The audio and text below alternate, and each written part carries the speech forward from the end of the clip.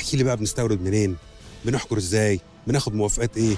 بالتفاصيل بالكامل. والله إحنا بنجيب الغزال ده أساسا من هولندا أو بلجيكا. اولا بتنا بن... بنعمل موافقات في وزارة الزراعة. في لجان بتطلع معاكم ولا أنتوا لا لا لا لا. مفيش لجان. لا لا إحنا بنتعامل مع العميل. مم.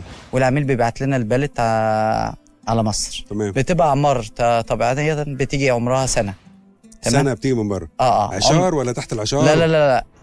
تحت العشار. تحت العشار. آه آه عمرها سنة. تمام.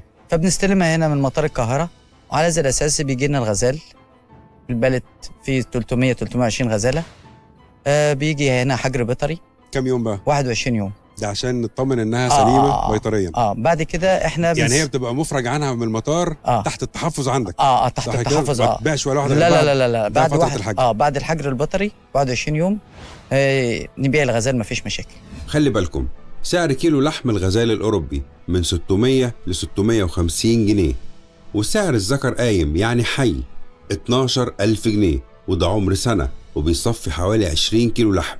أما الغزالة عمر 3 سنين فسعرها ضعف ثمن الذكر والأسرة عادة ما بتكون مكونة من ذكر وست غزلات الغزالة تقف عليك من هولندا أو بلجيكا بكام؟ ب 600 دولار. 600 دولار آه. دولار بموافقتها بكل حاجاتها؟ كله كله آه آه. وصل لغاية عندك هنا؟ لغاية هنا في مصر آه. وبعدين ال 21 يوم تحسب عمليات تغذيتها؟ صح تمام كده؟ بحسب عملية التغذية بتاعتها وبعد كده أنا ببيعها أنت بالك آه، للناس عادي. بتستوردوا كل قد إيه شحنة من هولندا أو إحنا؟ بنستورد آه، كل سنة في الشتاء شحنتين. يعني حوالي 640 آه بتاع 600 650 من حسب غزال آه من الغزال أوروبا. آه. وبتتوزع كلها. كل بالكامل. الناس بقت عندها غزلان دلوقتي. مفيش مفيش حد مثلا قليل اللي يقول لك النهارده مثلا يقول لك أنا عاوز اربي غزال. عاوز آكل لحم غزال.